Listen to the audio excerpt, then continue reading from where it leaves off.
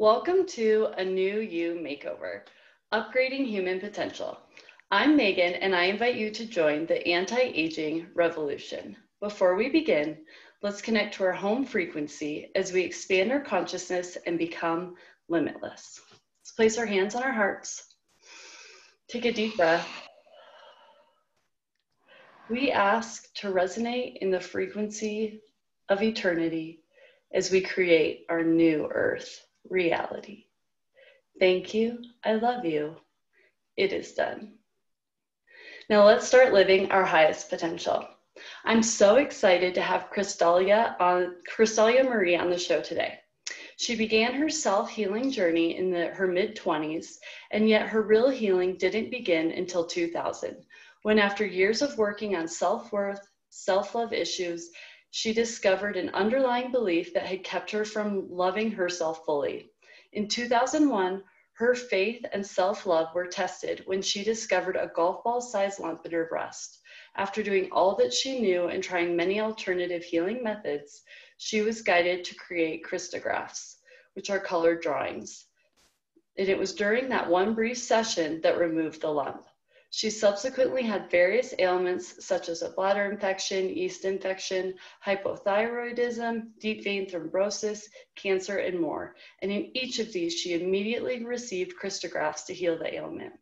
She is the best selling co author with Wayne Dyer and Deepak Chopra et al. in the Wake Up book series, author of the One Minute Energy Tune Up book series, products, and former radio talk show host.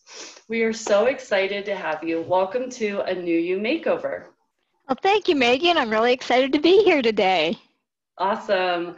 So I know that you have you have an amazing story, and I know you've gone through a lot and you were able to take your own struggles, walk through that uncomfort, move all the way through them to find healing, and now you're using that to help others. And that took a lot of perseverance, self love, and um, I think for you, I've heard you say that self love was a critical piece of your own journey. So tell us why self love is so important. Well, I think the key here is to understand that when we don't love ourselves, when we don't build our self esteem and our self love, we give away our power to everyone else. We don't believe we're worthy. We don't believe we're good enough. All of those things. And we're told that from the time we're little kids.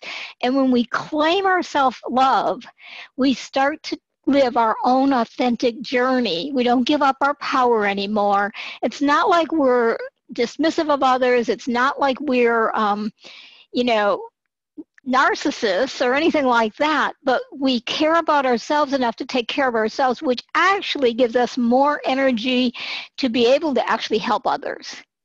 Versus so often we give up so much and then we wear ourselves out and we really can't be of help to anybody then. So that's why I think self love is so critical in our journey for men and women. Although I think most women are the ones that we really give up our power way too much. Well, and I think sometimes we don't even realize we're doing it, or we think we're acting in self love, but we're not. Yes. So, for you, when was that? What was it that kind of catapulted that for you that made you realize I'm not really putting self love first, or how do I find that self love? Well, I was uh, in a slightly abusive relationship with my first husband. And uh, I walked away from that relationship after he hit me one day. And his mother pulled me aside, and I laugh about this now, but she pulled me aside and she said she saw this happen, okay? And I walked out of the house, went to the local bar, and had a few drinks. They couldn't find me anywhere, right? Finally, I came back, and the next day or so, she saw me and she pulled me aside and she said, if he ever does that again, it's not okay. Hit him over the head with a frying pan when he's sleeping, okay? I didn't follow her advice, but anyway, um, following that, I left that relationship and I got involved with this guy, and I realized it was going to be even more abusive. It was already getting really out of control. And uh, I actually broke off the relationship. The guy showed up at my door. Well, I had a whole group of friends and family over visiting. And because of that, I let him in because I didn't want a scene. Okay.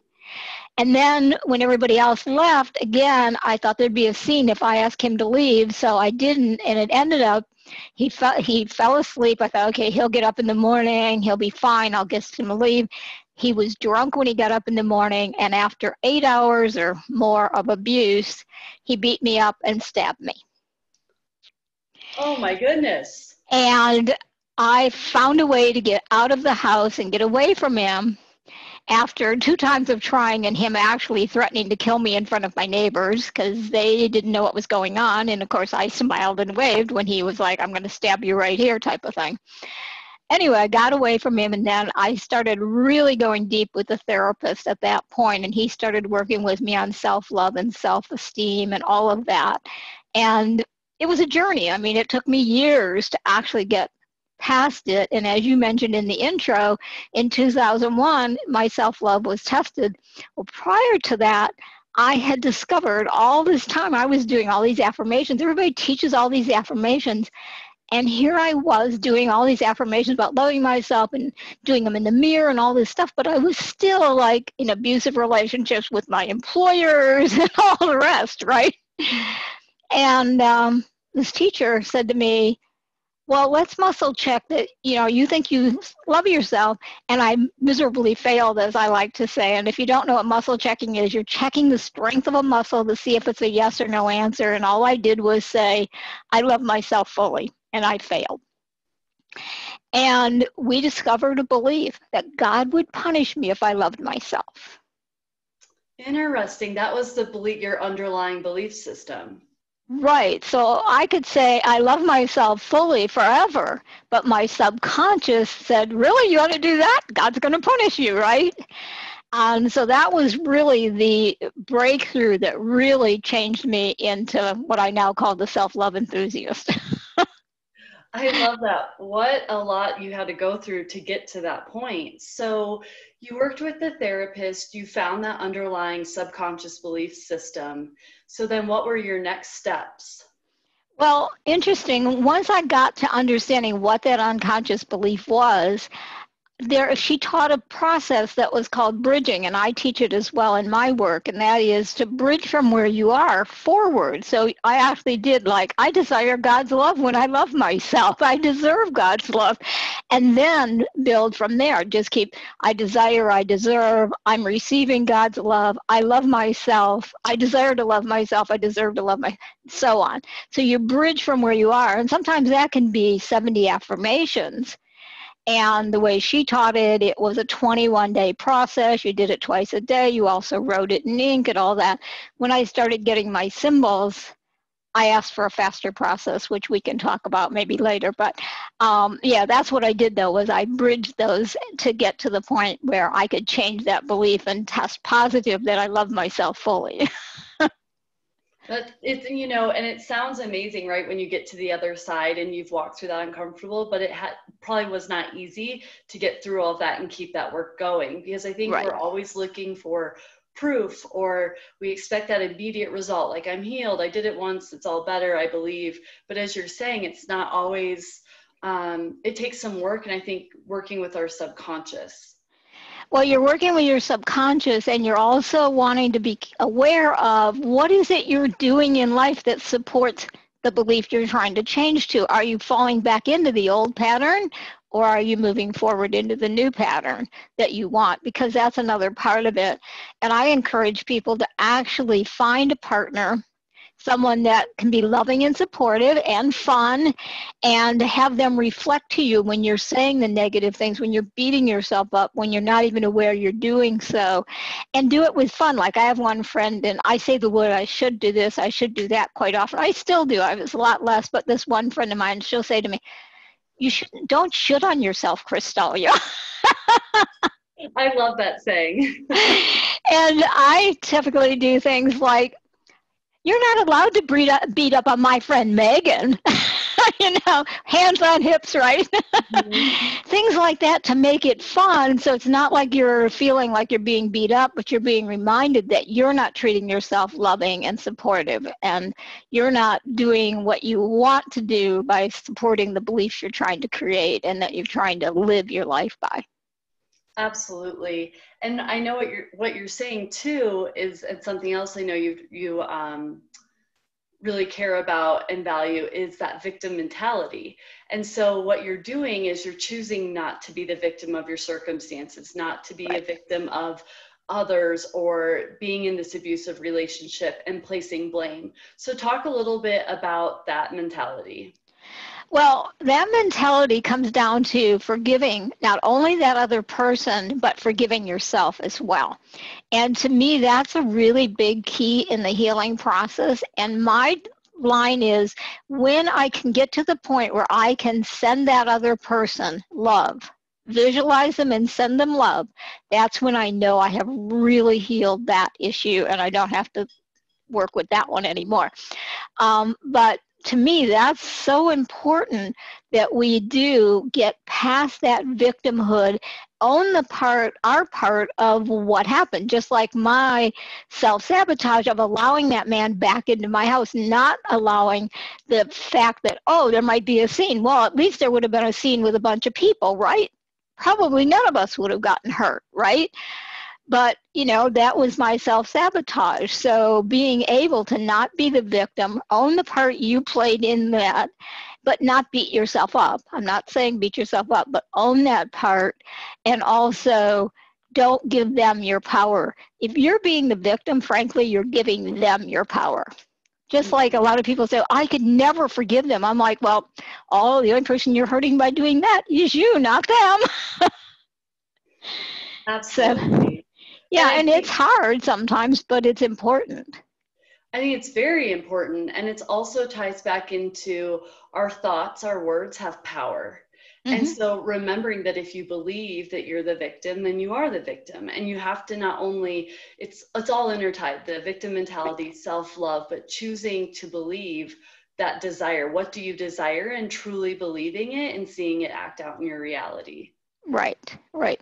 Yeah, I mean, that's so true is that uh, we act out what we keep saying over and over again because we and we keep recreating it until we move beyond the victim mentality. If you're claiming you're a victim, you're going to keep, keep creating more victim type of experiences. Absolutely. Absolutely. So your Krystagraphs, I'm so fascinated. I want to learn more about these. So you had your own kind of awakening moment, that turning point with the, the abuse situation. And then um, when was it that the Krystagraphs came in? So shortly after I learned about the, the self-love belief that God was going to punish me, I moved to Sedona. And right after I moved to Sedona, I discovered a golf ball sized lump in one of my breasts. So at that point, I was one of that particular healer's practitioners. So I did everything I knew with her processes and nothing was changing. And living in Sedona, you have a plethora of healers. mm-hmm. So I started going from healer to healer to healer and nothing was changing. And one day I was in this medical intuitive's office and I'd been there a few times and she'd given me some insights, but still nothing was changing. And she said to me, you know, you need to draw those images floating in your aura. And my father had been a professional artist and he had totally convinced me I couldn't draw a straight line with a ruler, much less anything else. Okay. So I remember rolling my eyes and saying, Yeah, right, whatever, have a good day.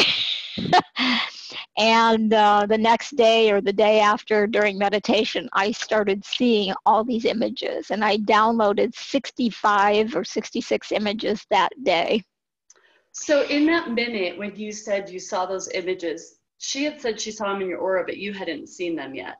Right. I had not seen them yet. I had no idea what she was talking about. And so there I was, like doodling these things and saying to Spirit, what's this one for? Oh, we'll tell you later. Well, is it colored? Yes. What colors? We'll tell you that later. So all they were were like these 65 little doodle things and then I started finding out like the first one was called Love and Trust, and it was about trusting the process and how I was told what colors to make it and what to do with it and so on. And within a couple of weeks, I got one that looked like, well, one that was called The Angel of Self Nurturing, which breasts are all about nurturing, so that wasn't a big surprise. But I still didn't know what I was going to do with these. And I don't know, three four weeks into it, I ended up getting one that looked like a jellyfish. I'm like, what's this one for? And I heard, take it to the medical intuitive. It'll remove the spider, uh, the poison from her spider bite on her arm, which she had been trying to do for a period of time. So I told her what to do, and she's like, oh my God, it's gone. She's like, I just know it's already gone. So I went home, and the next day I'm in meditation, and Spirit says, you know, you could also use that to remove that lump from your breast so I said, well, how would I do that? So I get, I was given a process and the three symbols, the the self love or the um, love and trust, the angel self nurturing, and that one were to be used. And I was guided how to use that jellyfish thing to literally get it to wrap its tentacles around the lump, suck it into its sac, and heal the tissue on its way out. And in 20 minutes, it was gone. The lump was gone. Yes. Were you just like yeah, so to the point, I didn't even check until the next morning. I was like, there's no way it could truly be gone. And the next morning I'm doing this and I'm like, oh, I guess it really is. so yeah, I, I was in pretty much disbelief that it could happen that quickly. And I had been trying to get this healed for over a year at that point. Right. And what year is this? Just curious. 2001 into 2000 into early 2002 that's right. Okay. Yeah. That's just incredible. So then as you continued as you did that and you healed yourself what came next? Did you just start to get more downloads or did you start to utilize those original 65 well, I utilized the Love and Trust one, and that was really the only one. And then as I started getting other problems, physical problems that I was aware of, like I get a bladder infection, and I'm like, okay, what do I do about that? Now, you know, something I recognized I'd had in the past. And they guided me to which one of the drawings to do this one, but color it this way. Here's what you do. I'd quickly do it. And in 20 minutes, the got bladder infections gone and it was just one after another. And uh, one of the big final ones was the deep vein thrombosis which i'd never had. And i ended up in the hospital because i was in a room where there were all these medical people are like you can't risk this. And i'm like don't worry the symbols will take care of it. They're like hospital now. And it was actually diagnosed. And while i was I was energetically downloaded it just as an image. I didn't have nothing to write. I didn't have colored pens and all that. I heard and saw what what I was supposed to do, and uh, later drew it. But but I visualized it and removed the the uh, whatever you call that, the deep vein thrombosis, the blockage in the artery, and they did diagnose that one. Um, so that was scary. And then after that, I said, you know, I'm tired of being the guinea pig. So can I share this with others now? right. Can someone else have an ailment? yeah. Yeah. Yeah. So then you did. So you just started to work on other individuals as they came forward. Well, friends initially, and had had lots of them have experiences that they liked and started giving me testimonials and then I started sharing it with others and learning how to get it out on the internet and all of that. So yeah, it's been a journey. It sounds like it. What a beautiful gift, though, and for you just to to follow that because I know that's not always easy to trust, as you were saying, and to just take what you're receiving and to really test it and trust it and keep going through it. Well, that's really the key is trusting it. I literally, after that, lost all of my money, almost lost my home, but was guided through a, a, bunch of different things that I trusted and ended up not losing the home, but pretty much was without any money when all was said and done. And and yet, you know, got another job for forty at forty thousand dollars in six weeks right after I got rid of my house, and and it's just been a journey ever since. So. But that love and trust has been a key to just trust that the pro- trust in the process, and it's a learning journey, and it's not like, anything really bad has happened, but I've had some good scares. Absolutely. Wow. It's just, it's a great story. So, when you're working with individuals now, you know, and the work you're doing, I know you do the crystals. What else are you doing with them? Well, I'm teaching them how to go into finding the underlying core belief and the underlying emotions that are related to whatever's going on. Because in my my feeling is that there is always some underlying blockage in the energy field there's some underlying emotion and belief that's related. So if we treat ourselves as body, mind, and spirit, we get full recovery versus a lot of times people will have cancer as an example and they'll go into remission. But if they didn't deal with the underlying pieces, then it comes back eventually. And what I find is more permanent results by having the whole picture, not just part of the picture. Absolutely. That's awesome. So, if someone wanted to find you and, you know, we're at home, tell our listeners how they can connect with you and learn more about your work in Krystagraphs. Well, they can connect with me on my website, and I do have some free gifts on not only on the website, but I think uh, I think the best place for them to go actually if they'd like some boundless energy. I have a free gift, gift called energytuneup.com if they just go there they can just get that free gift. It puts them on it puts you on my newsletter as well. But you actually get to get some symbols and try them out. And um, if you don't like them unsubscribe no big deal. But it is a way to try them out. And it includes an energy symbol that if you're in, have you ever been in one of those meetings where you're like falling asleep because it's so boring? Yeah. There's a symbol in that pack that you can hold against the skin of your non dominant hand in that boring meeting. It'll keep you awake. I think we all need that. uh, I've tested it a few times. Can you tell? uh, so, you know, and then my website is empoweredspirit.com. Awesome. So I will link to them in the show, but for those of you listening, um, empoweredspirit.com. And then remind us again of the free symbols website. Yeah, that's Energy Tuneup, E N E R G Y, tuneup, T U N E U P.com. Awesome. Yeah, and that way people can get to experience the work. Uh, back to your question before about how else I work with people, I have products and I like to empower people. That's why my website is called Empowered Spirit. So I actually prefer that people get some of my products and do some of the work themselves and reach out to me when they're stuck mm-hmm. rather than get dependent on me. That's not how I work. I mean, if you really need my help, I'm here and we'll do a session and I'll help you get past it, help you get deeper. But for most people, they find when they're working with the work, they can get deep enough on their own. I had a woman recently that had um, cervical cancer, and she emailed me a couple times and asked a couple questions. We never did do a session, but she bought the book that was on that subject, and in three months, totally cleared. That's amazing. That's just amazing. And I think yeah. sometimes it's just believing that we can mm-hmm. heal ourselves because we can, but you have to truly believe.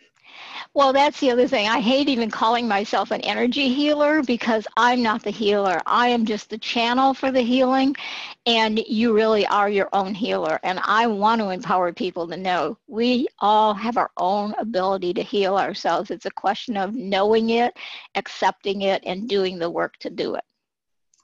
Absolutely. That's such a beautiful message. And I think we need to remember that because we, you're right, you have to do the work as an individual and mm-hmm. no one's going to do it for you. They can assist or be a path, but it's really on you right. to believe and be your healer. Oh, well, right. Thank you so much for your time today and sharing your story and connecting with our listeners and our community.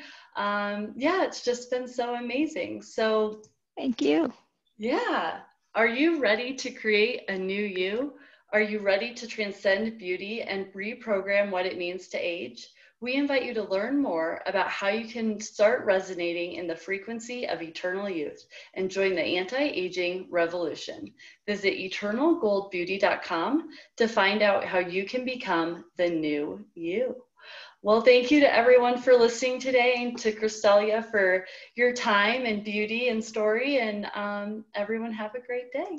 Blessings.